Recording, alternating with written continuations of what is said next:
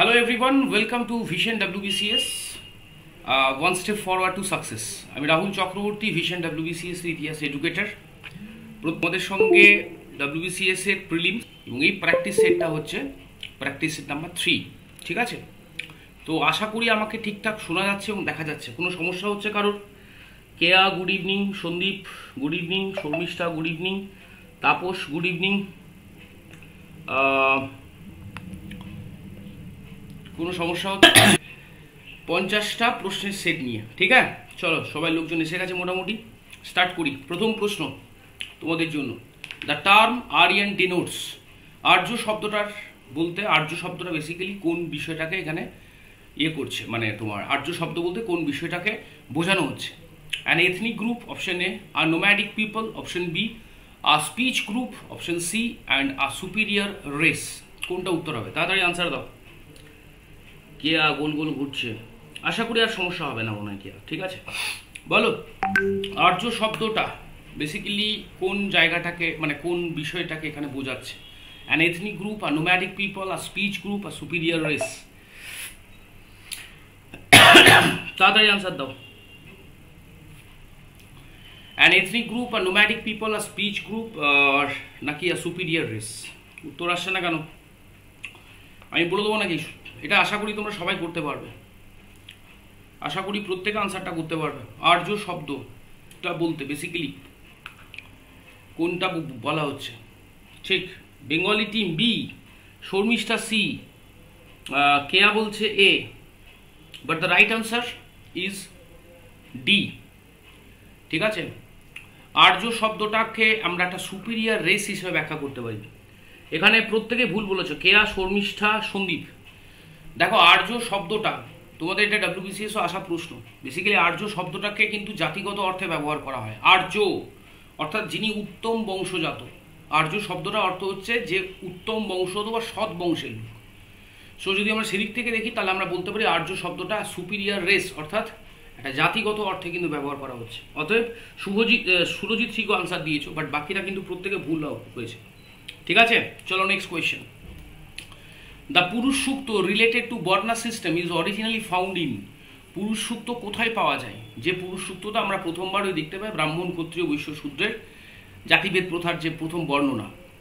অথর্ববেদে option B Samaveda Shreshtha good evening Bengali team Max মুনাথির ইয়াস সন্দীপ বলো পুরুষ সুক্ত যেটা বর্ণ ব্যবস্থার সঙ্গে রয়েছে সেটা কোথায় পাওয়া যায়? অথর্ববেদে সামবেদে ঋগ্বেদে নাকি মনুস্মৃতিতে?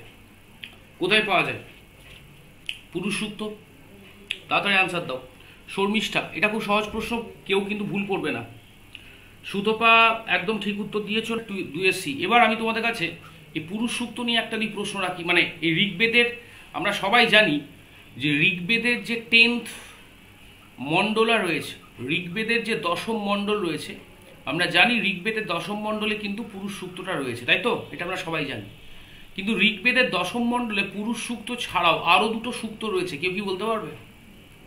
ঋগ্বেদের দশম মণ্ডল ছাড়াও আরও যে দুটো সূক্ত রয়েছে, তার মধ্যে একটা হচ্ছে নাসদিয়া সূক্ত। ঠিক আছে? নাসদিয়া সূক্ত। এই নাসদিয়া সূক্তে কিন্তু মহাবিশ্বের ধারণাটা রয়েছে। এবং আরেকটা সূক্ত হচ্ছে কিন্তু নদী সূক্ত। ঠিক আছে? মনে রাখবে। এই মনে রাখবে ঋগ্বেদের দশম মণ্ডলে পুরুষ সূক্ত ছাড়াও আরও দুটো সূক্ত রয়েছে। একটা বললাম নাসদিয়া সূক্ত যে নাসদিয়া সূক্ততে বেসিক্যালি আমরা দেখতে পাই, মহাবিশ্বের ধারণাটা রয়েছে, আর একটা রয়েছে নদী সূক্ত, ঠিক আছে? এই যে নদী সূক্ত, এই নদী সূক্তে ঋগ্বেদে এই দশম মণ্ডলে পুরুষ সূক্তে কম করে পঁচিশটারও বেশি কিন্তু নদীর কথা বলা হয়েছে, এই নদী সূক্ততে। যদিও নদী স্তুতি যেটা রয়েছে, সেটা কিন্তু ঋগ্বেদের থার্ড মণ্ডলে রয়েছে মানে তৃতীয় মণ্ডলে। যে নদী যে নদী স্তুতিতে আমাদের সরস্বতীকে বলা হয়েছে কি? নদী তমা ঠিক আছে? যে নদী স্তুতিতে সরস্বতীকে বলা হয়েছে নদীতমা বাট এটা হচ্ছে নদী সুক্ত।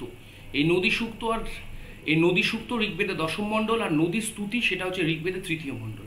Is it clear to everyone চলো next question who was Alara Kalama a king of Buddha's time নাকি আর টিচার অফ বুদ্ধ উত্তর কোনটা? হবে আলারা কালামা গৌতম বুদ্ধের শিষ্য or distinguish Buddhist monk or king of Buddha's time or teacher of Buddha Gautam বুদ্ধের সময়কার একজন বিখ্যাত শিক্ষক। কি হবে উত্তর? আলাদা কালামা অর্ণব, আলাদা বুদ্ধের তিনি কিন্তু শিক্ষক ছিলেন। নেক্সট প্রশ্ন, সেটা হচ্ছে যে এদের মধ্যে কোন শাসক চতুর্থ বৌদ্ধ সম্মেলনটা করেছিলেন কাশ্মীরে? এদের মধ্যে কোন শাসক চতুর্থ বৌদ্ধ সঙ্গীতই করেছিলেন কাশ্মীরে? Ashoka option B Ajatashatru option C Kanishka option D হচ্ছে কালাশোক। দেখা যাক আনসার কি আছে। বাফারিং হচ্ছে। আচ্ছা which of the following rulers convened the to C buffering হচ্ছে, বুঝতে পেরেছি। ইন্টারনেটের খুব সমস্যা আমাদের দিকে বুঝলে? নেট কানেকশনের ভীষণ প্রবলেম বাবু। আমি বুঝতে পারছি সম্মেলন কাশ্মীরে। চতুর্থ বৌদ্ধ সম্মেলন, অনামিকা বিশ্বাস, সি। জয়িতা, সি, কনিষ্কা। একদম ঠিক। So right answer should be Kanishka. কারণ কনিষ্কের আমলে চতুর্থ বৌদ্ধ সঙ্গীতই হয়েছিল এবং যেখানে হয়েছিল সেটা হচ্ছে কাশ্মীরের কুন্দল বনবিহার। কি বললাম? চতুর্থ বৌদ্ধ সঙ্গীতই হয়েছিল কাশ্মীরে এবং কাশ্মীরে যেখানে হয়েছিল সেটা ছিল কুন্দল বনবিহার, ঠিক আছে? তো এটা মনে রেখো কাশ্মীরের কুন্দল বনবিহারে চতুর্থ বৌদ্ধ সংগীত হয়েছিল কনিষ্কের সময় ঠিক? নেক্সট কোয়েশ্চেন সেটা হচ্ছে, এদের মধ্যে কোন Buddhist sacred place is situated on the bank of the river Niranjana অর্থাৎ চারটে অপশন দেওয়া আছে, বুদ্ধগয়া, কাশ কুশীনগর, লুম্বিনী নাকি ঋষিপত্তনা? এই বুদ্ধগয়া কুশীনগর, লুম্বিনী বা ঋষিপত্তন, এই যে চারটে কেন্দ্র, অঞ্চল রয়েছে চারটে অঞ্চলের মধ্যে কোন অঞ্চলটা যেটা নৈরঞ্জনা নদীর তীরে অবস্থিত? কি উত্তর হবে? আচ্ছা আচ্ছা আচ্ছা হি, হিটম্যান অবস্থি টু সিও বলে দিয়েছে ফোর সি আচ্ছা টু সি পাঁচের এ বুদ্ধগয়া, তাই না? এটা খুব সহজ প্রশ্ন, আশা করি প্রত্যেকে আনসার করতে পারবে, বুদ্ধগয়া, একদম ঠিক। So Bodhgaya is the right answer কারণ আমরা সবাই জানি যে বুদ্ধগয়া যেটা ছিল মানে আমাদের বুদ্ধগয়া সেটা কিন্তু নৈরঞ্জনা নদীর অবস্থিত। এবং এই বুদ্ধগয়া বা বোধগয়াতে আমরা জানি, গৌতম বুদ্ধ, তিনি তার বুদ্ধত্ব বা যেটাকে আমরা নির্বাণ বলি, সেটা তিনি লাভ করেছিলেন। ঠিক আছে? চলো নেক্সট কোয়েশ্চেন এবারের প্রশ্নটা, খুব ভালো করে ভেবে দেখে কেন তো আনসার দিও। তাড়াহুড়ো করে আনসার দেওয়ার কোনো প্রয়োজন নেই। Which of the following is the earliest holy book of Jain এদের মধ্যে কোন বইটা জৈন ধর্মের একেবারে প্রাচীনতম পবিত্র গ্রন্থ বলে বিবেচিত হয়? Twelve Angas, option A. Option B হচ্ছে টুয়েলভ উপাঙ্গাস। অপশন সি হচ্ছে ফোরটিন পূর্বাস। আর অপশন ডি হচ্ছে ফোরটিন উপপূর্বা। দেখা যাক আনসার কি আসে। হিটম্যান অবস্থি, ছয় রে। মানে কি, আমরা কি ধরবো এটা আনসার যে টুয়েলভ অঙ্গাস? টুয়েলভ অঙ্গাস, প্রত্যেকে টুয়েলভ অঙ্গাস দিচ্ছ? Twelve Angas twelve Angas. Joyita কেবলমাত্র বলেছে টুয়েলভ উপাঙ্গাস। বাকি প্রত্যেকে ছয় রে, রৌনক দেও বলছে ছয় রে। আচ্ছা কিন্তু আমি বলি, তার মধ্যে আর্লিয়েস্ট বলা হয়েছে আর্লিয়েস্ট হোলি বুক তো আর্লিয়েস্ট যদি হোলি বুক হয়, তাহলে সেক্ষেত্রে উত্তর হবে ফরটিন পূর্বাস। চোদ্দোটা যে পূর্বা ছিল। মনে রাখবে, এই Purvas are believe to have originated from Rishabhanath. Rishabhanath যিনি জৈন ধর্মের প্রথম তীর্থঙ্কর জৈনরা বিশ্বাস করে যে ঋষভনাথের মুখনিসৃত বাণী থেকেই তাদের একেবারে প্রাচীনতম ধর্মগ্রন্থ হিসেবে এই চোদ্দটি পূর্ব নামক বা চোদ্দটি পূর্বার কিন্তু জন্ম হয়েছিল। এবং এটাও তোমরা মনে রাখবে যে চোদ্দটি পূর্বা, এই চোদ্দটি পূর্বার লাস্ট এক্সপার্ট যিনি ছিলেন, আবারও বলছি চোদ্দটা পূর্বা, এই চোদ্দটা পূর্বা হচ্ছে জৈন ধর্মের একেবারে প্রাচীনতম আদি ধর্মীয় গ্রন্থ বা প্রাচীনতম গ্রন্থ, আদি ধর্মীয় গ্রন্থ বলছি এবং এই চোদ্দটা পূর্বার একেবারে আমরা যেটা বলতে পারি যে এই চোদ্দটা পূর্বার একেবারে যিনি লাস্ট এক্সপার্ট ছিলেন, তার নাম ছিল ভদ্রবাহু। তো এটা তোমরা মনে রাখবে, ভদ্রবাহু। এই ভদ্রবাহু তিনি ছিলেন কিন্তু এই চোদ্দটা পূর্বার লাস্ট এক্সপার্ট অতএব এটা কিন্তু আর পরের বার থেকে ভুল করো না। Which of the following is the earliest holy book of Jain সেক্ষেত্রে আনসার হবে কিন্তু ফর্টিন পূর্বাস ঠিক আছে? And Bhadrabahu was the last expert of the fourteen Purvas is it clear to everyone আশা করি প্রত্যেকে বুঝতে পেরেছে। চলো নেক্সট কোয়েশ্চেন সেটা হচ্ছে, এদের মধ্যে কে আলেকজান্ডারের সঙ্গে ভারতবর্ষে আসেননি? এদের মধ্যে কে আলেকজান্ডারের সঙ্গে ভারতবর্ষে আসেননি? অপশন এ রয়েছে নিয়ারকাস অপশন বিতে রয়েছে ওনেসিক্রিটাস অপশন সিতে রয়েছে ডেইমেকাস আর অপশন ডিতে রয়েছে অ্যারিস্টোবুলাস বলো, এদের মধ্যে কে আলেকজান্ডারের সঙ্গে ভারতবর্ষে আসেননি? অপশন এ হচ্ছে নিয়ারকাস অপশন বি হচ্ছে ওনেসিক্রিটাস অপশন সি হচ্ছে ডেইমেকাস অপশন ডি হচ্ছে অ্যারিস্টোবুলাস দেখা যাক আনসার কি আছে। সন্দীপ ইতিমধ্যে আনসার দিয়ে দিয়েছ ডেইমেকাসের কথা বলছে, সন্দীপ। টুসি বলছে Deimachus hitman Awasthi Deimachus Joybrata Deimachus আচ্ছা কেয়া সিংহ ডেইমেকাস আচ্ছা আরে বাবরে কি নাম রে ভাই? মিমি আচ্ছা যাই হোক নাম বুঝতে পারিনি, সি, সুতপা বলছে সি, একদমই থাক ডেইমেগাস কারণ আলেকজান্ডার যখন ভারতবর্ষে এসেছিলেন, তখন তার সঙ্গে তিনজন বিখ্যাত গ্রিক হিস্টোরিয়ান এসেছিলেন। তারা হচ্ছে নিয়ারকাস, উনেসিক্রিটাস আর অ্যারিস্টোবুলাস। আর এই যে ডেইমেকাস, তিনি তো ছিলেন একজন দূত বিন্দুসারের সময় যিনি যে ডেইমেকাস এসেছিলেন, তাই না? অতএব আনসার হবে কিন্তু ডেইমেকাস। ভেরি গুড চলো নেক্সট কোয়েশ্চেন কোন অশোকের শিলালেখ থেকে which Ashokan rock edict describes the victory and the injuries of Kalinga war অর্থাৎ অশোকের কোন শিলালেখ থেকে আমরা কলিঙ্গ যুদ্ধে অশোকের জয়লাভের কথা জানতে পারি বা কলিঙ্গ যুদ্ধের বিস্তারিত বর্ণনা জানতে পারি? প্রথম রক এডিক্ট এটাও খুব সহজ প্রশ্ন এবং এটা এক্সপেক্ট করব তোমরা প্রত্যেকে সঠিক উত্তর দেবে। সুতপা নয় ডি, সন্দীপ ডি কেয়া সিংহ নয়ের বি, না রকেরিক টু নয়, ভুল। নয়ের ডি, শর্মিষ্ঠা, অনামিকা আচ্ছা তেরোতম হিটম্যান অবস্থি, একদম, প্রত্যেকে সঠিক উত্তর দিয়েছ। সেটা হচ্ছে অশোকের যে থার্টিন মেজর রকেডিক রয়েছে। অশোকের যে থার্টিন মেজর রকেডিক রয়েছে সে থার্টিন মেজর রকেডিক থেকে আমরা কলিঙ্গ যুদ্ধ সম্পর্কে বিস্তারিত বর্ণনা কিন্তু জানতে পারি। এবং এই থার্টিন মেজর রকেডিকটি কিন্তু অশোক ঘোষণা করছেন যে কলিঙ্গ যুদ্ধের ভয়াবহতা দেখার পর তিনি সিদ্ধান্ত গ্রহণ করেন যে আর যাই হোক না কেন, যুদ্ধ নয়, যুদ্ধ নীতিকে তিনি ত্যাগ করেন এবং ধর্ম ভেরি ঘোষের পরিবর্তে ধর্মঘোষ নীতি তিনি গ্রহণ করেন। চলো নেক্সট কোয়েশ্চেন এদের মধ্যে কে? কনিষ্কের রাজসভার ছিলেন না। এদের মধ্যে কে? কনিষ্কের রাজসভায় ছিলেন না। অপশন এ হচ্ছে অশ্বঘোষ অপশন বি হচ্ছে পার্শ্ব অপশন সি হচ্ছে বসুমিত্র অপশন ডি হচ্ছে বিশাখ দত্ত। দেখা যাক আনসার কি আছে। এদের মধ্যে কে? কনিষ্কের রাজসভা অলঙ্কৃত করেননি। অশ্বঘোষ পার্শ্বনাথ পার্শ্ব, বসুমিত্র নাকি বিশাখ দত্ত? দেখি এটার উত্তর কি আছে। Two C Sharmishtha, D Bishakh Datta. Sharmishtha বলছে কেয়া সিংহ বলছে বিশাখ দত্ত, শর্মিষ্ঠা বলছে বিশাখ দত্ত, জয়ব্রত বলছে বিশাখ দত্ত, সুতপা বলছে বিশাখ দত্ত, ঠিক? So right answer should be Bishakh Datta, একদম সঠিক। এটার উত্তর হচ্ছে বিশাখ দত্ত, কারণ বিশাখ দত্ত তিনি কুষাণ যুগের লোক নন। তাহলে বিশাখ বিশাখ দত্ত কোন যুগের লোক? আমরা বলতে পারি বিশাখ দত্ত হচ্ছেন গুপ্ত যুগের লোক। তিনি কিন্তু গুপ্ত যুগের লোক। আবারও বলছি বিশাখ দত্ত হচ্ছেন গুপ্ত যুগের লোক। এটা মনে রেখো প্রত্যেক। এবং এখানে আরেকটা বিষয় বলে রাখি। বিশাখ দত্ত দুটো বই রয়েছে। একটার নাম হচ্ছে মুদ্রা রাক্ষস, আমরা সবাই জানি। একটা জানি আমরা মুদ্রা রাক্ষস, ঠিক আছে? এবং আরেকটা বই আরেকটা বই তার রয়েছে। আরেকটা বই বলব না, আরেকটা তার প্লে রয়েছে, অর্থাৎ একটা তার নাটক রয়েছে, যেটার নাম হলো দেবী চন্দ্রগুপ্তম, তাই না? এই দেবী চন্দ্রগুপ্তম এবং হচ্ছে এবং হচ্ছে মুদ্রা রাক্ষস। এই দুটো হচ্ছে মুদ্রা রাক্ষস। এবং বিশাখ দত্ত তিনি যেহেতু গুপ্ত যুগের লোক, অতএব তিনি কনিষ্কের রাজসভায় অলঙ্কৃত অলঙ্কৃত করেননি। চলো নেক্সট কোয়েশ্চেন বলা হচ্ছে for which of the following rulers Eka Brahmana has been used এখানে নিচের কোন শাসকের জন্য একা ব্রাহ্মণ? এই শব্দটা ব্যবহার করা হয়েছে। পুষ্যমিত্র শুঙ্গ কলিঙ্গ রাজা খারবেল সাতবাহন রাজা গৌতমীপুত্র সাতকর্ণী, নাকি সুশর্মন? কি কি উত্তর হবে? এখানে কোন শাসক, তিনি নিজেকে বা কার কোন শাসকের উদ্দেশ্যে একা ব্রাহ্মণ এই শব্দটা ব্যবহার করা হয়েছে? একা ব্রাহ্মণ। আচ্ছা সুতপা, হিটম্যান অবস্থি, সাতকর্ণী আনসার দিচ্ছে Sanchita, Satakarni Pranay, Satakarni. Very good so right answer একদম ঠিক বলেছ, গৌতমী পুত্র সাতকর্ণী।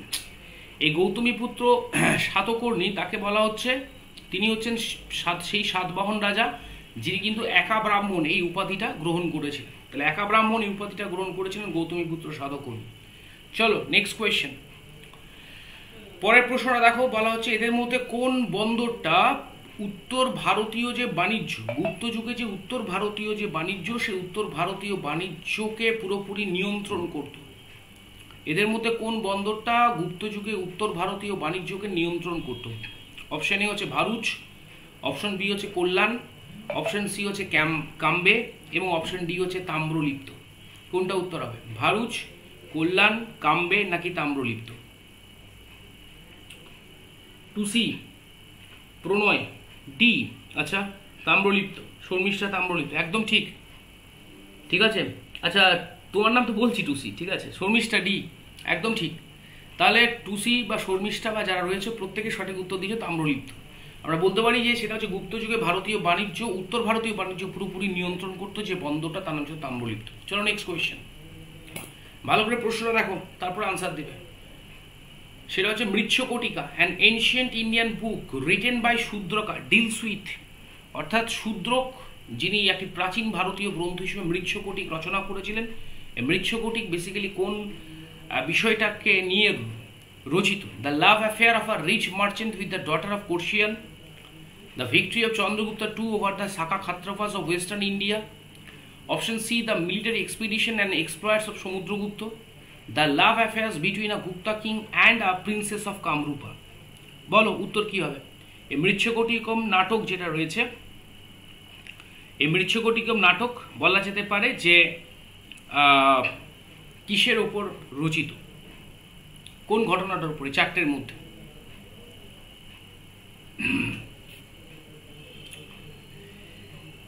সন্দীপ সন্দীপ বলছে, B, the victory of Chandragupta two over the Saka Kshatrapas of western India. এটার উপরে তার মৃচ্ছকটিকা নাটক রচনা করেছিলেন। আচ্ছা বলে দিই, সঠিক উত্তর হবে কিন্তু এ। ঠিক আছে, এটা সঠিক উত্তর হচ্ছে এ। এই মৃচ্ছকটিকা বলে যে নাটক যেটা শূদ্রক রচনা করেছিলেন, তোমাদেরকে বলে রাখি এই যে শূদ্রক মৃচ্ছকটিকাম বলে যে নাটকটা রচনা করেছিলেন মাই ডিয়ার স্টুডেন্টস সেটা সেক্ষেত্রে বলে দিই, বিখ্যাত বণিক, যার নাম ছিল চারু দত্ত। বিখ্যাত বণিক, যার নাম ছিল চারু দত্ত। এবং চারু দত্তের সঙ্গে গণিকা, বসন্ত সেনা। তো বিখ্যাত বণিক চারু দত্ত এবং তার গণিকা, বসন্ত সেনা। এই দুজনের মধ্যেকার যে প্রেম কাহিনী, এই চারু দত্ত এবং বসন্ত সেনার মধ্যেকার প্রেম কাহিনী, চারু দত্ত ইনি হচ্ছেন মার্চেন্ট, একজন কোর্সিয়ান বা বসন্ত সেনা হচ্ছেন একজন কিন্তু বারবণিকা এখানে তোমাদের বলে রাখি, মৃচ্ছকটিকার নাটকটা কে রচনা করেছে তোমাদের জিজ্ঞাসা করলে তোমরা সবাই বলতে পারবে সে শূদ্রক তাই না? আমরা প্রত্যেকেই জানি যে শূদ্রক তিনি মৃচ্ছকটিকম নাটকটা রচনা করেছিলেন, তকা। তো এটাও তোমরা কাইন্ডলি একটু মনে রেখো। মৃচ্ছকটিকাম ছাড়াও শূদ্রকের আরেকটা নাটক ছিল, যে নাটকটার নাম হলো Padmaprabhritaka P A D M A P R A B H I T A K এই পদ্মপ্রাভিতক এই নাটকটা কিন্তু শূদ্রক রচনা করেছিলেন, তিনি মৃচ্ছকটিম তো রচনা করেই ছিলেন, তার সঙ্গে এটাও তোমরা মনে রাখবে যে পদ্মপ্রাভিতক বলে আরেকটা নাটক তিনি রচনা করেন। চলো next question during the general ছিলেন Lord Canning Lord Elgin Lord Dalhousie নাকি লর্ড এলেন বড়ো কে ছিলেন আঠেরো সাতান্ন সালে সিপাহী বিদ্রোহের সময় ভারতের governor general Lord Canning Lord Elgin Lord Dalhousie নাকি লর্ড এলেন বড়ো কি উত্তর হবে? আচ্ছা বেঙ্গলি টিম আনসার দিয়ে দিয়েছ লর্ড ক্যানিং বেশ so right answer should be Lord Canning তাহলে কি বলব? যে সেটা হচ্ছে সঠিক উত্তর হচ্ছে কি না? সঠিক উত্তর হচ্ছে লর্ড বাষট্টি পর্যন্ত ভারতের গভর্নর জেনারেলের দায়িত্ব সামলেছেন, তাই না?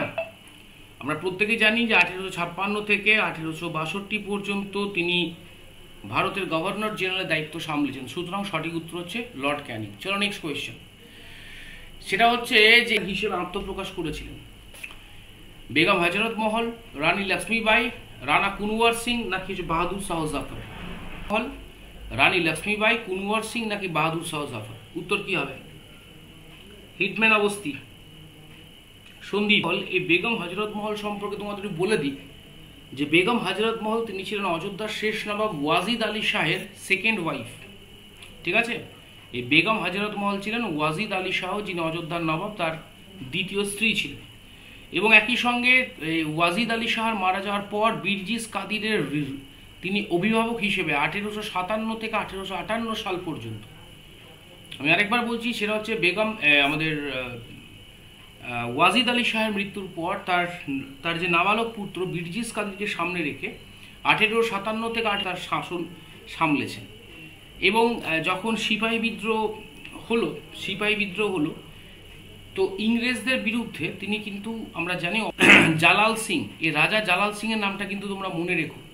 কারণ বেগম হজরত মহল, বেগম হজরত মহলের হয়ে এই রাজা জালাল সিং তিনি তুলেছিলেন, ঠিক আছে? ইংরেজদের বিরুদ্ধে। ঠিক আছে? তাহলে কি বললাম? দ্বিতীয় স্ত্রী হচ্ছেন তিনি আমাদের অযোধ্যার নবাব ওয়াজিদ আলী শাহের রিজেন্ট হিসেবে বীরজিস কাদির অভিভাবক হিসেবে কাটিয়েছেন আঠেরো সাতান্ন থেকে আটা- আটান্ন। এবং রাজা জালাল সিং তার হয়ে কিন্তু ইংরেজদের বিরুদ্ধে প্রতিরোধটা গড়ে তুলেছিলেন। ঠিক আছে? চলো নেক্সট কোয়েশ্চেন এবং এই এবং আরেকটা বিষয় বলি, বেগম হজরত মহল কিন্তু তিনি আঠেরোশো উনসত্তর সাল নাগাদ তিনি আমাদের নেপালের কাঠমান্ডুতে তিনি কিন্তু মারা যান এবং কাঠমা described hmm as the best and the bravest military leader of the rebel sir, Hugh Rose তিনি বলেছেন কাকে? সবচেয়ে শ্রেষ্ঠ এবং সবচেয়ে সাহসী একজন সিপাহী যখন আঠেরো সাতান্ন সালে সিপাহী বিদ্রোহ সংগঠিত হয়েছে, কাকে বলেছেন? সঞ্চিতা, রানী লক্ষ্মীবাই একদম ঠিক, এটা সবাই আশা করি করতে পারবে। শর্মিষ্ঠা একদম ঠিক বলেছে উত্তর, সন্দীপ বেঙ্গলি টিম বি একদম সঠিক উত্তর। তাহলে সেক্ষেত্রে আনসার হচ্ছে কি? আনসার হচ্ছে কিন্তু রানী লক্ষ্মীবাই আমরা জানি রানী লক্ষ্মীবাইকে স্যার হিউ ক্রোজ বলেছেন the best and the bravest leader of the revolt নেতা ছিলেন এই রানী লক্ষ্মীবাই চলো নেক্সট রামচন্দ্র পাণ্ডুরঙ্গ আঠেরো সাতান্ন সালে। তার প্রকৃত নাম রামচন্দ্র পাণ্ডুরঙ্গ। তিনি কে? কুনওয়ার সিং, তাঁতিয়া টোপে, নানা সাহেব নাকি মঙ্গল পাণ্ডে? বলো, পরের প্রশ্ন।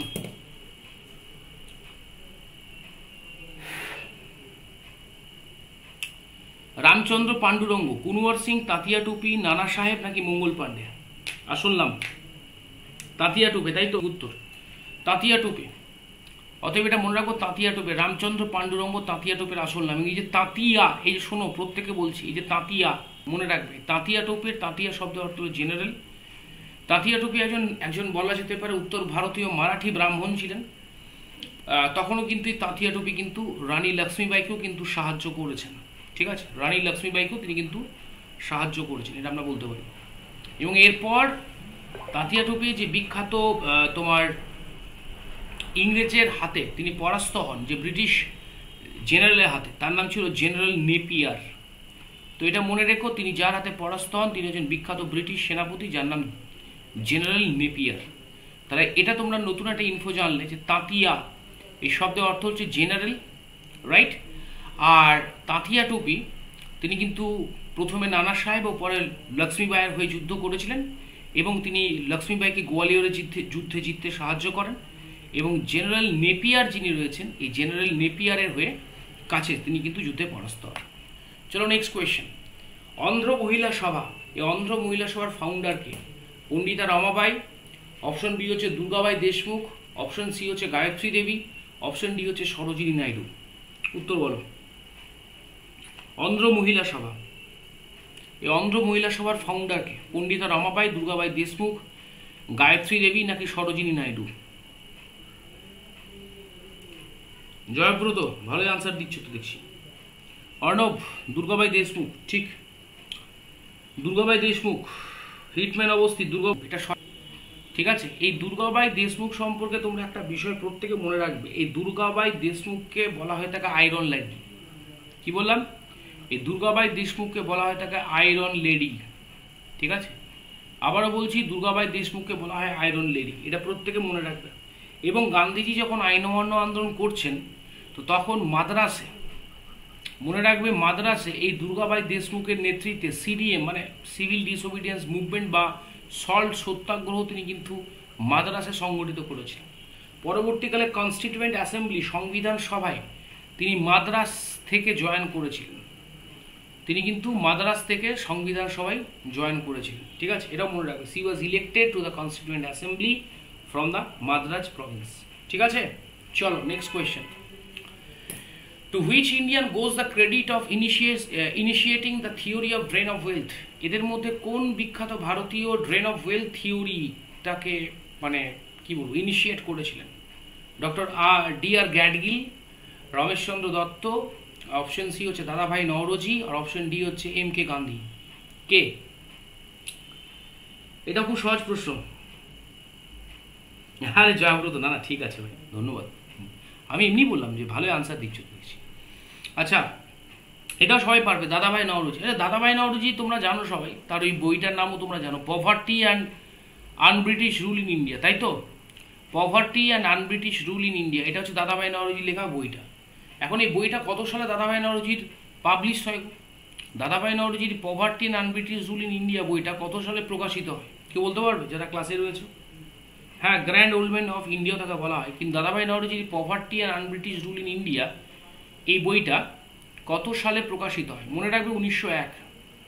এই poverty and unBritish rule in India এই বইটা কিন্তু বেসিক্যালি উনিশশো এক সালে দাদাভাই নওরোজি প্রকাশিত হয়। চলো next question Servants of India Society was founded by Servants of India Society was founded by কে প্রতিষ্ঠা করেছিলেন? গোপালকৃষ্ণ গোগলে অপশন বি হচ্ছে মহাদেব গোবিন্দ রানাডে অপশন সি হচ্ছে B G Tilak option D হচ্ছে ভিডি সাভারকার।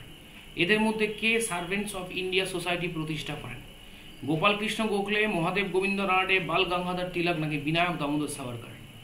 বলো আনসার কি হবে? এটা খুব সহজ প্রশ্ন। ভুল আশা করি কেউ করবে না। বেশ।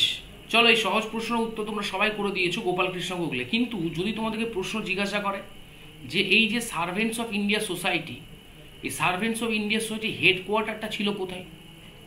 যদি তোমাদেরকে প্রশ্ন জিজ্ঞাসা করে যে সার্ভেন্টস অফ ইন্ডিয়া সোসাইটির হেডকোয়ার্টারটা ছিল কোথায়? মনে রাখবে Servants of India Society headquarter ছিল কিন্তু পুনেতে। ঠিক আছে? আরেকবার বলছি সার্ভেন্টস অফ ইন্ডিয়া সোসাইটির হেডকোয়ার্টার যেটা ছিল সেটা ছিল পুনেতে। আর সার্ভেন্টস অফ ইন্ডিয়া সোসাইটি উনিশশো পাঁচ সাল নাগাদ গোপাল কৃষ্ণ গোখলে তিনি এটা তৈরি করেন, বারোই জুন। আর সার্ভেন্টস অফ ইন্ডিয়া সোসাইটির একটা ইংরেজি নিউজ পেপার ছিল। এদের একটা ইংরেজি নিউজ পেপার ছিল, যে ইংলিশ নিউজ পেপারটার নাম ছিল হিতবাদা। তো এটা তোমরা কাইন্ডলি একটু পারলে মনে রাখবে, হিতবাদা। এই হিতবাদা ছিল কিন্তু এদের একটা ইংরেজি নিউজ পেপার যে ইংরেজি নিউজ পেপারটা নাগপুর থেকে প্রকাশিত হতো পাবলিশ ফ্রম নাগপুর। ঠিক আছে? তাহলে উনিশশো পাঁচের জুন মাস নাগাদ সার্ভেন্টস অফ ইন্ডিয়া সোসাইটি প্রতিষ্ঠা হয়। এটার হেডকোয়ার্টার ছিল পুনে এবং বলা যেতে পারে এটা একটা ইংরেজি অর্গ্যান ছিল মানে একটা ইংরেজি নিউজ পেপার ছিল যার হিতবাদা, যেটা নাগপুর থেকে প্রকাশিত চলো next question partition of Bengal was announce on which of the following day বঙ্গভঙ্গ, এদের মধ্যে কোন দিনে ঘোষিত হয়? উনিশশো পাঁচের সতেরোই অক্টোবর, উনিশশো পাঁচের উনিশে জুলাই উনিশশো পাঁচের আঠেরোই জুলাই নাকি উনিশশো পাঁচের ষোলোই অক্টোবর? বলো উত্তর কী হবে? অর্ণব হ্যাঁ ডেকান সোসাইটির নিউজ পেপার, একদমই তাই। উনিশশো পাঁচের উনিশে জুলাই, বেশ বঙ্গভঙ্গ ঘোষিত হচ্ছে অ্যানাউন্সমেন্ট হচ্ছে। তাহলে উনিশশো পাঁচের উনিশে জুলাই ঠিক একদম তোমরা ঠিক বলেছ যে উনিশশো পাঁচের উনিশে জুলাই বঙ্গভঙ্গ ঘোষিত হয়, আর বঙ্গভঙ্গ কার্যকর হয়, এটা আমরা জানি উনিশশো পাঁচের ষোলোই অক্টোবর, তাই না? উনিশশো পাঁচের ষোলোই অক্টোবর বঙ্গভঙ্গ কার্যকর হয়, উনিশশো পাঁচের উনিশে জুলাই বঙ্গভঙ্গ কিন্তু ঘোষিত হয়। ঠিক আছে? একদম সঠিক উত্তর প্রত্যেকে দিয়েছ। রাখি, সোমা, হিটম্যান প্রত্যেকে সঠিক উত্তর দিয়ে চলো, পরের প্রশ্ন। এটা তোমরা সবাই জানো।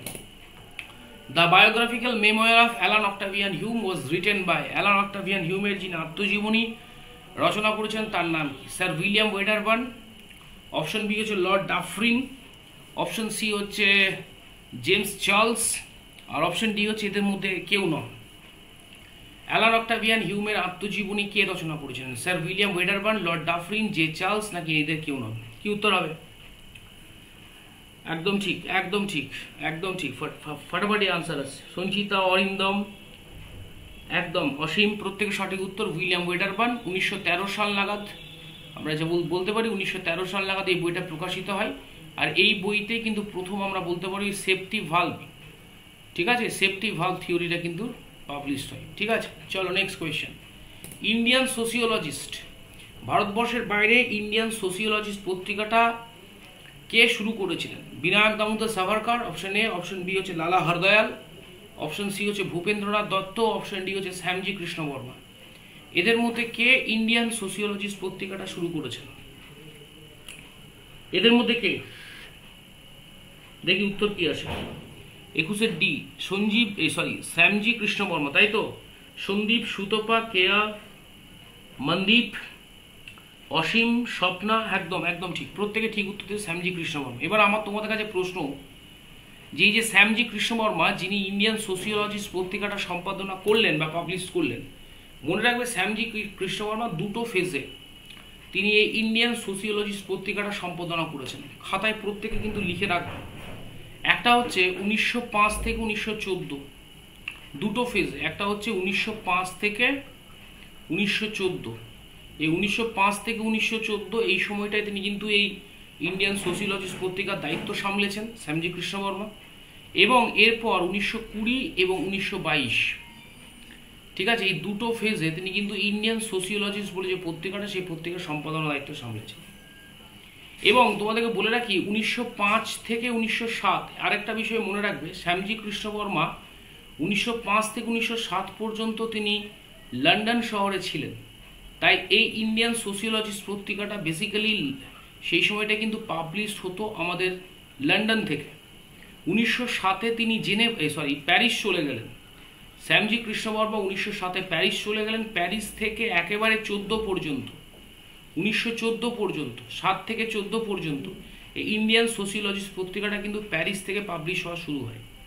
এবং সেই সময়টা কিন্তু পাবলিশ করছেন শ্যামজি কৃষ্ণ বর্মা পরবর্তীকালে যখন তোমার হচ্ছে যে প্রথম বিশ্বযুদ্ধ শুরু হলো, সেই সময় শ্যামজি কৃষ্ণবর্মা তিনি জেনেভাতে যান এবং জেনেভাতে সেই সময় সুইস গভর্নমেন্ট ছিল, তারা কিন্তু ইন্ডিয়ান সোশ্যালিস্ট পত্রিকা বের করতে দেয়নি। তারপরেও কিন্তু জেনেভাতেই দ্বিতীয়, প্রথম বিশ্বযুদ্ধের শেষ লগ্নে গিয়ে মানে শেষে উনিশশো কুড়ি আর উনিশশো বাইশে তিনি কিন্তু এটার সম্পাদনার দায়িত্ব সামলেছেন। তাহলে এই যে ক্রোনোলজিটা বললাম, এটা মনে রাখবে। উনিশশো পাঁচ থেকে উনিশশো চোদ্দ, একটানা প্রায় ন বছর শ্যামজি কৃষ্ণ বর্মা ইন্ডিয়ান সোশিয়োলজিস্ট পত্রিকা সম্পাদনা করেছেন। আর কুড়ি থেকে বাইশ, এই সময়টাতেও তিনি কিন্তু ইন্ডিয়ান সোশিয়োলজিস্ট পত্রিকা সম্পাদনা করেছেন। তার মধ্যে পাঁচ থেকে সাত সোশিও ইন্ডিয়ান সোশিয়োলজিস্ট পত্রিকার হেড অফিস ছিল লন্ডন। যেহেতু শ্যামজি কৃষ্ণ বর্মা ছিলেন সাথে তিনি লন্ডন থেকে প্যারিস চলে যাচ্ছেন। সাত থেকে চোদ্দ পর্যন্ত ইন্ডিয়ান সোশ্যালিস্ট পত্রিকাটা প্যারিস থেকে কিন্তু পাবলিশ হচ্ছে। Is it clear to every one আশা করি প্রত্যেকে বুঝতে পেরেছে এবং এই তথ্যটা যেটা দিলাম সেটা যদি সম্ভব হয়, তো অবভিয়াসলি খাতায় কিন্তু লিখে রাখতে পারো। চলো পরের প্রশ্ন। সেটা হচ্ছে, ভারতের জাতীয় কংগ্রেসের প্রথম অধিবেশনে এদের মধ্যে কে যোগদান করেননি? ভারতের জাতীয় কংগ্রেসের প্রথম অধিবেশনে এদের মধ্যে কে যোগদান করেননি? দাদাভাই নওরোজি কেটি তেলাং ফিরোজ শাহ মেহতা নাকি সুরেন্দ্রনাথ ব্যানার্জি? বলো। সেটা হচ্ছে এদের মধ্যে কে তোমার হচ্ছে এদের মধ্যে কে জাতীয় কংগ্রেসের প্রথম অধিবেশনে যোগদান করেন? দাদাভাই নওরোজি কেটি তেলাং, ফিরোজ শাহ মেহতা নাকি এস এন ব্যানার্জি? বল উত্তর কি হবে? D D D D D, একদম একদম। Surendranath Banerjee very good very good অতএব সঠিক উত্তর হচ্ছে সুরেন্দ্রনাথ ব্যানার্জি। মানে S N Banerjee, S N Banerjee, Surendranath Banerjee, তিনি কিন্তু জাতীয় কংগ্রেসের প্রথম অধিবেশনে যোগদান করতে পারেননি। কারণ পারেননি ইন দ্য সেন্স তাকে আমন্ত্রণ জানানো হয়নি। আর সুরেন্দ্রনাথ ব্যানার্জির ইন্ডিয়ান অ্যাসোসিয়েশনের উদ্যোগে যে ভারত সভা মানে জাতীয় সম্মেলন যেটা হয়েছিল, যেটাকে আমরা বলে থাকি ন্যাশনাল কনফারেন্স তো তোমাদেরকে বলে রাখি ন্যাশনাল কনফারেন্স তিনি দু দুবার কিন্তু আহ্বান করেছিলেন। তো দ্বিতীয়বারের যে ন্যাশনাল কনফারেন্সটা হয়েছিল, সুরেন্দ্রনাথ ব্যানার্জি আর আনন্দমোহন বসুর প্রতিষ্ঠিত অর্গানাইজেশন ইন্ডিয়ান অ্যাসোসিয়েশনের উদ্যোগে। তো দ্বিতীয় কনফারেন্সটা হয়েছিল আঠেরোশো পঁচাশি থেকে পঁচিশ থেকে সাতাশে ডিসেম্বর। তো স্বাভাবিকভাবেই জাতীয় কংগ্রেসের অধিবেশন ঠিক তার পরের দিন বসে আঠাশে twenty eight day of December সেই কারণের জন্য সুরেন ব্যানার্জি সুরেন্দ্রনাথ ব্যানার্জি তিনি কিন্তু জাতীয় কংগ্রেসের প্রথম অধিবেশনে যোগদান করতে পারেননি। তো এটা তোমরা প্রত্যেকে মনে রাখবে। কেন পারেননি? তার কজটা হচ্ছে এটাই। চলো next question Azad Hind radio station বা আজাদ হিন্দ রেডিও সার্ভিস, এটা কোন বছর শুরু হয়? উনিশশো বিয়াল্লিশ, উনিশশো পঁয়তাল্লিশ, উনিশশো উনচল্লিশ নাকি উনিশশো চল্লিশ? আজাদ হিন্দ রেডিও সার্ভিস, এটা কোন বছর শুরু হয়? উনিশশো বিয়াল্লিশ, উনিশশো পঁয়তাল্লিশ, উনিশশো উনচল্লিশ নাকি উনিশশো চল্লিশ? তাড়াতাড়ি আনসার দাও। উনিশশো বিয়াল্লিশ উনিশশো বিয়াল্লিশ, একদম ঠিক। অতএব আমি তোমাদেরকে বলে রাখি, আজাদ হিন্দ রেডিও স্টেশন, এটা উনিশশো বিয়াল্লিশে শুরু হয়। এবার এই প্রশ্নটা থেকে অনেকগুলো প্রশ্ন আবার আসতে পারে। যেমন ধরো, বলে দিই, এই Azad Hind radio station basically জার্মানির বার্লিনে শুরু হয়েছিল। যিনি তৈরি করেছিলেন, তার নাম আমাকে আর নতুন করে বলার প্রয়োজন নেই, তাও এখানে লিখে দিলাম, সুভাষচন্দ্র বসু। এবং তোমাদেরকে বলে রাখি এই আজাদ হিন্দ রেডিও স্টেশন তার প্রথম ব্রডকাস্টিং শুরু করেছিল সাতই জানুয়ারি নাইনটিন ফর্টি টু আরেকবার বলছি, আজাদ হিন্দ রেডিও স্টেশন প্রথম ব্রডকাস্টিং শুরু করেছিল নাইনটিন ফর্টি টু এর সেভেন্থ জানুয়ারি। সুভাষচন্দ্র বসু এরপর যখন জার্মানি থেকে শটান তিনি যখন জাপানে আসছেন, তো সেই সময়টাতে আজাদ হিন্দ রেডিও সার্ভিস যেটা, আজাদ হিন্দ রেডিও সার্ভিস সেই আজাদ হিন্দ রেডিও সার্ভিসের, সার্ভিসকে কন্টিনিউ করেছেন যিনি, তিনি হচ্ছেন এসিএন নাম্বিয়ার। প্রত্যেকে মনে রাখবে এসিএন নাম্বিয়ার সাহেব। এসিএন নাম্বিয়ার সাহেব, তিনি কিন্তু উনিশশো বিয়াল্লিশে Azad Hind radio sorry Subhashchandra Basu Japan চলে যাওয়ার পর জার্মানিতে এই আজাদ হিন্দ রেডিও স্টেশনকে কিন্তু যিনি দায়িত্বে ছিলেন, যিনি প্রধান দায়িত্বে ছিলেন, তার নাম ছিল কিন্তু এসিএন নাম্বিয়ার। এসিএন নাম্বিয়ার, তিনি কিন্তু সুভাষচন্দ্র বসু জার্মানিতে যে ইন্ডিয়ান লিজিয়ান বলে জার্মানির হাতে বন্দি থাকা ভারতীয় সৈন্যদের নিয়ে দলটা গঠন করেছিলেন এসিএন নাম্বিয়ার তার হেড ছিলেন। Is it clear to every one A C N Nambiar তার কিন্তু প্রধান ছিলেন, ঠিক আছে? পরবর্তীকালে আরজি হুকুমত ই হিন্দ, আরজি হুকুমত আজাদ হিন্দ। এই আরজি হুকুমত আজাদ হিন্দ বলে যে জার্মানিতে যে সরকারটা গঠিত হয়েছিল, তার কিন্তু প্রধান অ্যাম্বাসেডার ছিলেন। জার্মানিতে প্রধান আরজি হুকুমত আজাদ হিন্দের অ্যাম্বাসেডার ছিলেন এসিএন নাম্বিয়ার ঠিক আছে? এসিএন নাম্বিয়ার তাহলে আজাদ হিন্দ রেডিও স্টেশন এবং তার সঙ্গে এই যে রিলেটেড ইনফোগুলো দিলাম, প্রত্যেককে বলছি খাতায় লিখে রাখবে। Thank you Keya Singha thank you ঠিক আছে? তাহলে কেন বললাম এটা বলো? তাহলে উনিশশো বিয়াল্লিশের সাতই জানুয়ারি আজাদিন রেডিও স্টেশন তৈরি হয়। কোথায় তৈরি সরি প্রথম ব্রডকাস্টিং করছে। কোথায় হচ্ছে? জার্মানির বার্লিনে। এসিয়ান নাম্বিয়ার সুভাষচন্দ্র বসুর পরে আজাদিন রেডিও স্টেশনকে তিনি তিনি তার দায়িত্বে ছিলেন। এবং এই এশিয়ান নাম্বিয়ার একই সঙ্গে হচ্ছে তোমার জার্মানির বার্লিনে যে ইন্ডিয়ান লিজিয়ান তৈরি হয়েছিল, তার প্রধান দায়িত্বে ছিলেন। এবং যে বিষয়টা বললাম, সেটা হচ্ছে আরজি হুকুমত আজাদ হিন্দ বলে যে সরকারটা সুভাষচন্দ্র বসু তৈরি করেছিলেন, তার জার্মানির অ্যাম্বাসেডার ছিলেন এই A C N Nambiar is it clear to everyone চলো, ধন্যবাদ। হ্যাঁ টুসি, তুমি প্রথম পাঠিয়েছ। খাতায় লিপিবদ্ধ করছি। পরের প্রশ্ন which of the following freedom fighter is also known as the unofficial ambassador of India unofficial ambassador of India কাকে বলা হয়? তাঁতিয়া টুপি, কুনওয়ার সিং, দাদাভাই নরজি নাকি উমেশ চন্দ্র ব্যানার্জি? এটাও খুব সহজ প্রশ্ন। এটা আমি আমার আগের ইউটিউব ক্লাসে বোধহয় বলেছিলাম। কাকে আনঅফিসিয়াল অ্যাম্বাসেডার অফ ইন্ডিয়া বলা হয়? তাঁতিয়া টুপি, কুনওয়ার সিং, দাদাভাই নরজি নাকি ডাব্লিউ সি ব্যানার্জি? আচ্ছা হিটম্যান অবস্থি, উত্তর দিয়ে দিয়েছ। আচ্ছা আচ্ছা বেশ বেশ। প্রত্যেকে আনসার দিয়েছ সি তো ঠিক আছে একদম, সঠিক উত্তর আমরা হচ্ছে দাদাভাই নরজিকে নেব।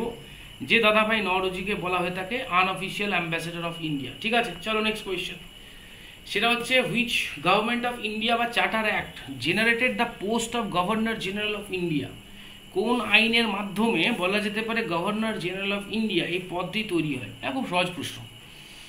ঠিক আছে, জলবৎ তরঙ্গ প্রশ্ন এবং এই প্রশ্নর এক্সপ্লেনেশন দেওয়ার আমার কোনো প্রয়োজন আছে বলে মনে হয় তোমরা প্রত্যেকে আশা করি এই আনসারটা করতে পারবে। আঠেরোশো আটান্ন সালে ভারত শাসন আইন আঠেরোশো তেত্রিশের সনদ আইন আঠেরোশো তিপ্পান্ন সনদ আইন আঠেরোশো তেরোর সনদ আইন কোনটা উত্তর হবে? হিটম্যান অবস্থি, আঠেরোশো তেত্রিশ। এটা কিন্তু ভুল করলে কারও চলবে না। একদম একদম একদম। প্রত্যেকে সঠিক উত্তর দিয়েছ। অতএব সঠিক উত্তর হচ্ছে আঠেরোশো তেত্রিশ এইটিন থার্টি থ্রির সনদ আইন চলো নেক্সট কোয়েশ্চেন সেটা হচ্ছে সুভাষচন্দ্র বসু উনিশশো তেতাল্লিশ সালে একুশে অক্টোবর। যে দিনটা আজও কিন্তু আমাদের কাছে সেলিব্রেট হয়। কি কারণে সেলিব্রেট হয়?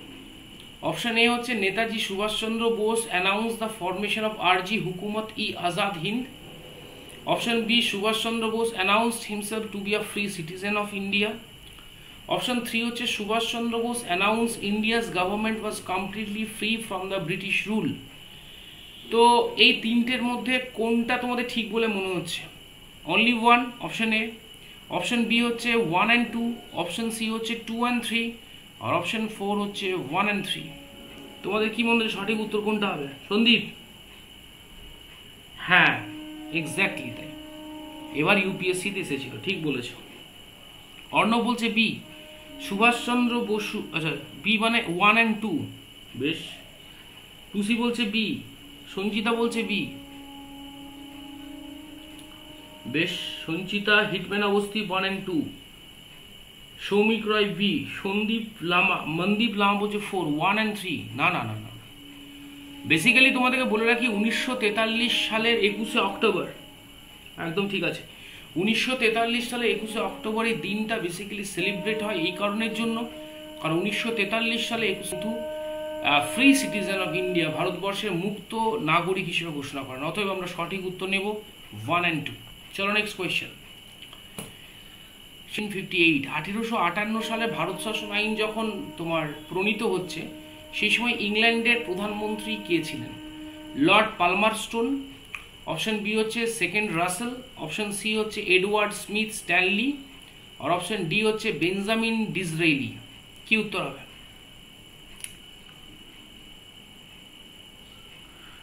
ঠিক আছে। ঋদ্ধি মাইতি জয়েন করেছে ক্লাসে অর্ণব এ লর্ড পালমারস্টোন, ব্রিটেনের প্রাইম মিনিস্টার ছিলেন আঠারোশো আটান্ন সালে ভারত শাসন আইনের সময়। অর্ণব দিচ্ছে lord Palmerston, Joybrata Palmerston, Asim বলছে কনফার্ম ঠিক তাই জন্য কনফার্ম বলছে। ইস্ট ইন্ডিয়া কোম্পানির যে শাসন, সেটা অবসান হয় এবং ব্রিটিশ রাজের হাতে ক্ষমতা হস্তান্তর তো এই আইনটা যখন পাস হচ্ছে সে ব্রিটিশ প্রাইম মিনিস্টারের নাম ছিল লর্ড পালমারস্টোন। একদম ঠিক, পরের প্রশ্ন। রামসী বিদ্রোহ সাতারাতে আঠেরোশো পঁচিশ থেকে ছাব্বিশ কার নেতৃত্বে হয়েছিল? ছিট্টুর সিং বাসুদেব বলবন আহ, ভেলুথাম্বি নাকি হচ্ছে রমাবাই রানাডে? কার নেতৃত্বে হয়েছিল সাতারাতে ছিট্টুর সিং বাসুদেব বলবন ফাতকে ভেলুথাম্পি নাকি রমি যিনি ত্রিবাঙ্কুরের দেওয়ান ছিলেন তার নেতৃত্বে একটা বিদ্রোহ হয়েছিল যেটাকে বলা হয় ভেলুথাম্পির বিদ্রোহ। বাসুদেব বলবন ফাতকে আঠারোশো পঁচিশ ছাব্বিশ সালের লোক নন তিনি অনেক পরের লোক। মোটামুটি এইটিন সেভেন্টিজের সময়টাতে তিনি প্রথমবার রামসিদেরকে সংগঠিত করলেন এবং রামসিদেরকে তিনটে অপশনই এলিমিনেট হয়ে যাচ্ছে। তাহলে উত্তর ডেফিনেটলি ছিট্টু সিংই হবে, তাই তো? এই সঞ্চিতা, ভুল কেন করে বসলে? বাসুদেব বালবান ফাতকে তিনি কিন্তু ভারতবর্ষে তাকে সশস্ত্র বিপ্লববাদের জনক বলা হয় এবং তিনি আঠেরোশো সত্তরের দশকে আমরা দেখতে পাচ্ছি, তিনি রামসিদেরকে সংগঠিত করে একটা সশস্ত্র বিপ্লব বা সশস্ত্র অভ্যুত্থানের চেষ্টা করছেন। কিন্তু সেই সশস্ত্র অভ্যুত্থানটাকে আমরা কখনোই বৃহত্তর ক্ষেত্রে একটা বিদ্রোহ বলে মনে করতে পারি না বা বিদ্রোহ ধরতে পারি না। তো তাই সাতারাতে যে রামসি আপরাইজিং হয়েছিল আঠারোশো পঁচিশ ছাব্বিশ সালে, যেহেতু স্পেসিফিক একদম ডেট মেনশন করে দিয়েছে, তো সেক্ষেত্রে আমি যদি আনসারটা নাও জানতাম বিসিডিকে এলিমিনেট করলে আমরা সহজেই কিন্তু এই আনসারটা করে ফেলতে পারব। অতএব সঠিক উত্তর হচ্ছে ছিট্টুর সিং। ক্লিয়ার সবার কাছে? সন্দীপ, চলো নেক্সট কোয়েশ্চেন সেটা হচ্ছে এদের মধ্যে কাকে গ্রেটেস্ট পর্তুগিজ গভর্নর বলা হয়, যিনি ভারতবর্ষে পর্তুগিজদের প্রকৃত, কি বলব, প্রকৃত ক্ষমতা প্রতিষ্ঠা করেন real foundation of Portuguese power in India Francisco de Almeida Francis Drake Albuquerque নাকি ভাস্কো দা গামা বলো। ভারতবর্ষে পর্তুগিজ শাসনের প্রকৃত প্রতিষ্ঠাতা কাকে বলা হয়? আলবুকার্ককে ডি আলমেইডাকে ফ্রান্সিস ড্রেককে নাকি ভাস্কো দা গামাকে বল উত্তর কি হবে? সুতপা বলছে আলবুকার্কে। বেশ, আলবুকার্কে। ডিকাস সাবা বলছে আল, না না ভাই ফ্রান্সিস করি আলমেইডা আমি ধনঞ্জয়। Sharmishtha C, Albuquerque. এ ধনঞ্জয়, ভুল করছ কেন? কেমন আছো?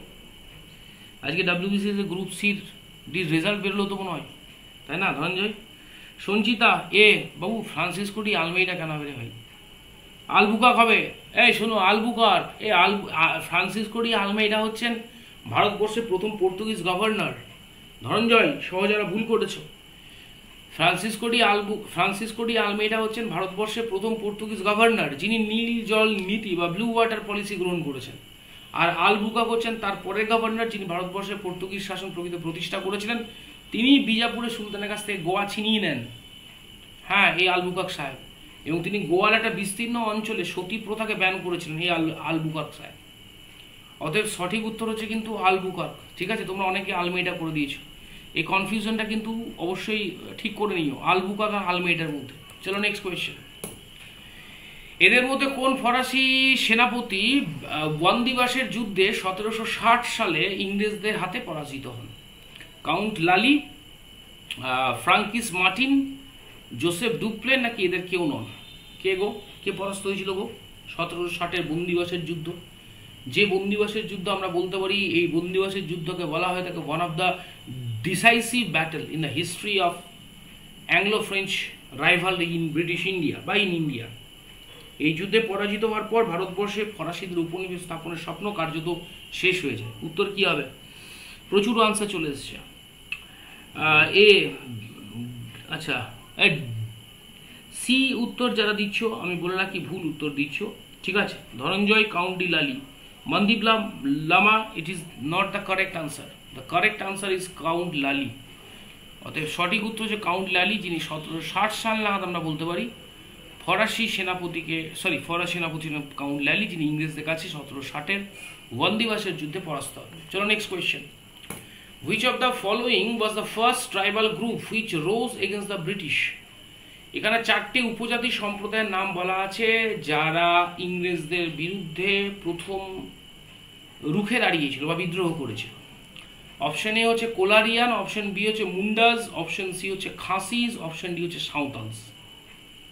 এই চারটে উপজাতির মধ্যে কোন উপজাতি সম্প্রদায় প্রথম ইংরেজদের বিরুদ্ধে বিদ্রোহ ঘোষণা করেছিল? কোলারিয়ান মুন্ডাস খাসিস নাকি সাঁওতাল? দেখি উত্তর কি আছে। অসীম।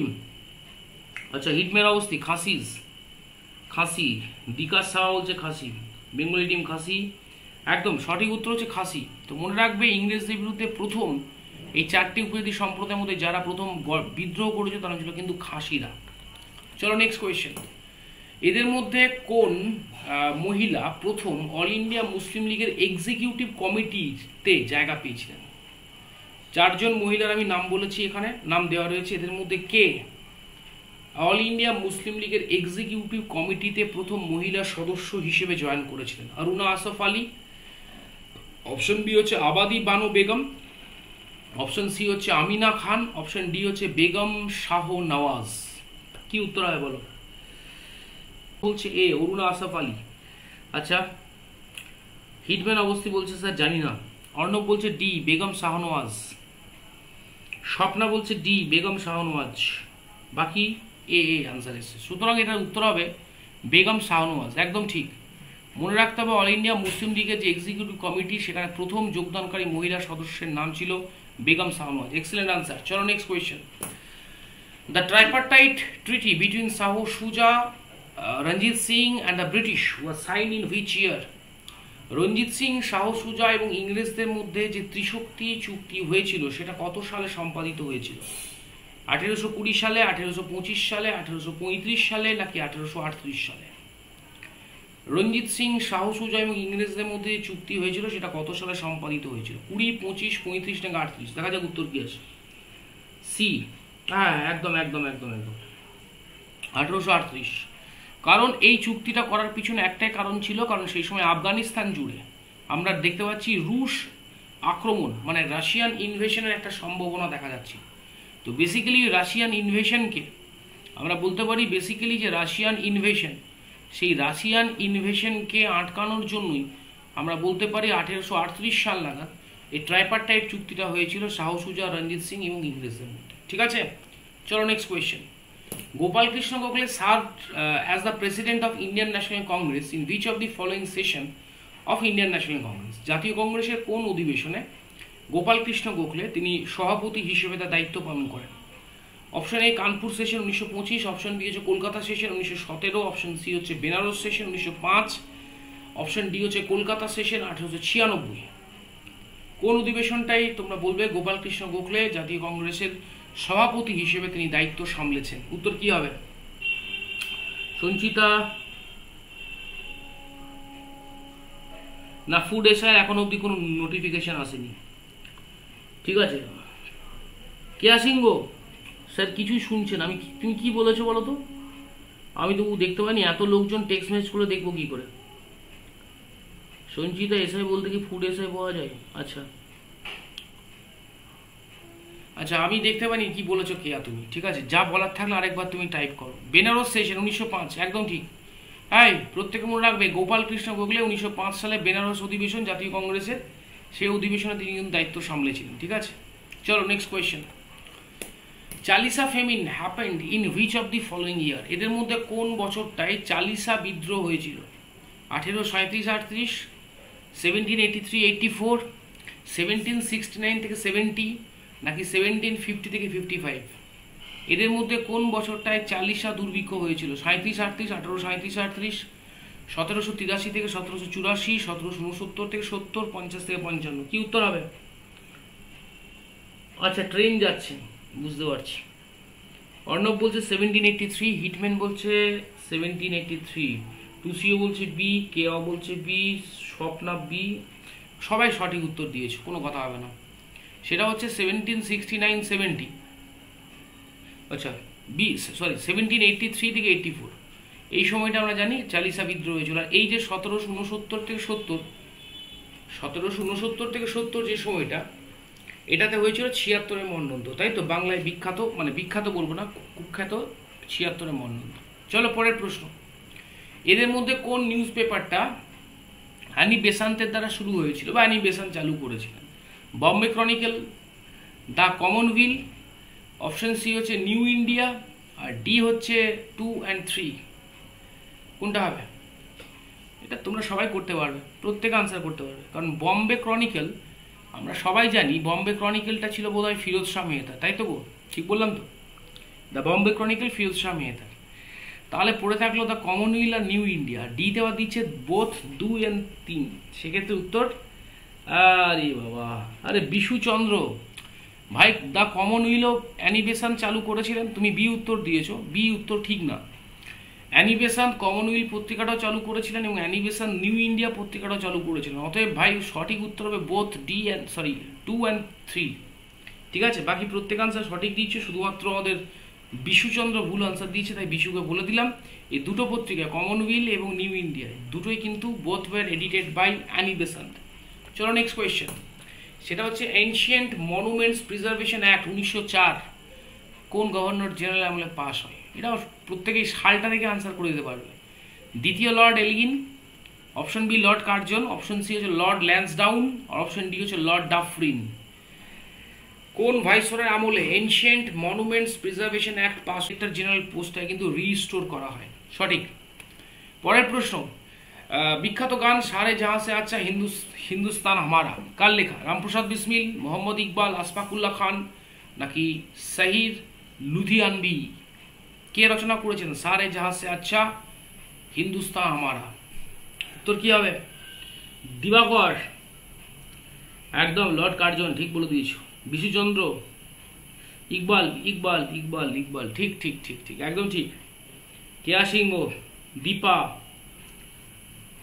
ঠিক, একদম সঠিক উত্তর। তাহলে উত্তর হচ্ছে কোনটা? উত্তর উত্তর হচ্ছে মোহাম্মদ ইকবাল। তাহলে বলতে পারি মোহাম্মদ ইকবালের হাত দিয়ে রচিত হয়েছে সেই বিখ্যাত গান সারে জাহাসে আছে হিন্দুস্তান আমারা পরের প্রশ্ন at which among the following places Jayprakash Narayan had convened the first All India Congress Socialist Conference in nineteen thirty four প্রথম সর্বভারতীয় কংগ্রেস সমাজতান্ত্রিক অধিবেশনটি জয়প্রকাশ নারায়ণের হাত ধরে উনিশশো চৌত্রিশে। প্রথম কোথায় শুরু হয়েছিল? লখনৌতে পাটনাতে, গয়াতে নাকি কলকাতায়? কোথায় হয়েছিল? হিটম্যান অবস্থিত সরফরজি কি তোমার নাম হমারে দিল মে একদম সরফরজি কি তোমার নাম হমারে দিল মে এটা হচ্ছে রামপ্রসাদ বিসমিল বিশুচন্দ্র, সুতপা, বি, পাটনা। বিশু বলছে বি, পাটনা। দিবাকর বলছে বি, পাটনা। কেয়া সিংহ বলছে জানি না। দীপা বলছে ডি, কলকাতায়। আচ্ছা ডিকাস সুবা বলছে B but the Patna is the right answer ঠিক আছে? Patna is the right answer প্রত্যেকে সঠিক উত্তর দিয়েছ। Patna is the right answer চলো নেক্সট কোয়েশ্চেনে চলে যাব। সেটা হচ্ছে, প্রথম India's first indigenously made film in colour প্রথম প্রথম কোন ভারতীয় সিনেমাটা পুরোপুরি কালার করা হয়? রাজা হরিশ্চন্দ্র ছোটা চেতন অপশন সি হচ্ছে কিষণ কানাইয়া অপশন ডি হচ্ছে আলাম আরা কোনটা হরিশ্চন্দ্র ছোটা চেতন কিষণ কানাইয়া নাকি আলাম আরা কোনটা হবে উত্তর hitman Awasthi C Arnab C আচ্ছা একদম সঠিক মনে রাখবে এই যে আমাদের অপশন সিতে রয়েছে, এই যে কিষান কানাইয়া, এই কিষান কানাইয়া হচ্ছে প্রথম ইন্ডিজিনাসলি একেবারে দেশীয় প্রযুক্তিতে বলা যেতে পারে। ঠিক আছে? একটা ভারতবর্ষে তৈরি হওয়া প্রথম রঙিন সিনেমা। চলো নেক্সট কোয়েশ্চেন সেটা হচ্ছে, এদের মধ্যে কোন ব্রিটিশ জেনারেল ব্রিটিশ পার্লামেন্টে ইমপিচড হয়েছিলেন? ইমপিচড করা হয়েছিল তাকে।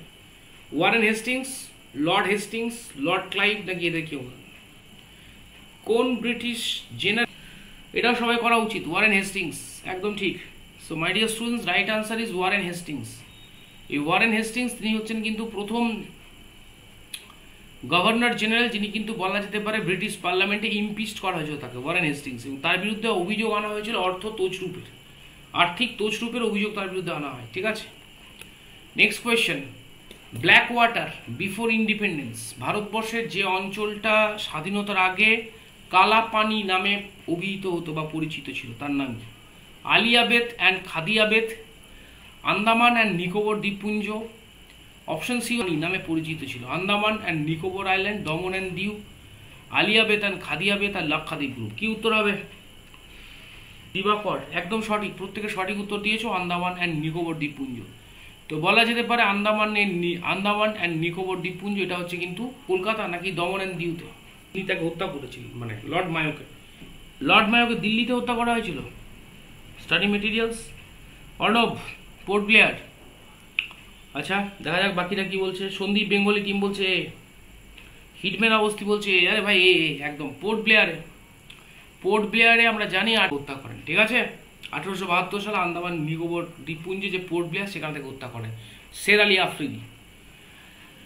ভারতবর্ষে যে গভর্নর জেনারেল ইংরেজি চালু করেছিলেন, তার নাম কি? Lord Macaulay Lord Hastings Lord Curzon নাকি লর্ড উইলিয়াম বেন্টিং কে? এদের মধ্যে কে? ভারতবর্ষে ইংরেজি শিক্ষা চালু করেছিলেন। Lord Macaulay, Lord Hastings, Lord Curzon, নাকি লর্ড বেন্টিং? এটা সবাই সহজ, প্রত্যেকে উত্তর করতে পারে, Lord Bentinck. Lord William Bentinck, কারণ এই যে থমাস বেবিংটন মেকলে, তিনি আঠেরোশো পঁয়ত্রিশ সালে সেকেন্ড ফেব্রুয়ারি তিনি যে ওই ডাউনওয়ার্ড ফিল্ট্রেশন থিওরি অর্থাৎ ক্রম, যেটা হচ্ছে পরিশ্রুত তত্ত্ব, সে অনুযায়ী তিনি ইংরেজি ভাষা মাধ্যমে শিক্ষা চালু করার পক্ষে সওয়াল করেন একজন একজন অত্যন্ত গুরুত্বপূর্ণ অ্যাংলিস্ট ছিলেন তিনি মানে পাশ্চাত্যবাদী। তার দ্বারা অনুপ্রাণিত হয়ে কিন্তু লর্ড উইলিয়াম বেন্টিক ভারতবর্ষে ইংরেজি শিক্ষার শিক্ষার ক্ষেত্রে ইংরেজি শিক্ষা চালু করেন। পরের প্রশ্ন, সেটা হচ্ছে এদের মধ্যে কে? সুভাষচন্দ্র বসুর সঙ্গে ফরওয়ার্ড ব্লক প্রতিষ্ঠা করে তাকে সাহায্য করেছিলেন। শুধু তাই না, যখন ওই আজাদিন ফৌজের আন্দোলন হচ্ছেন তিনি আজাদিন ফৌজের আন্দোলনও কিন্তু অ্যাক্টিভলি পার্টিসিপেট করেছিলেন। কে? Shilbhadra Yajee option A option B হচ্ছে মোহনলাল অপশন বি সি হচ্ছে মহাত্মা গান্ধী অপশন ডি হচ্ছে মতিলাল নেহরু।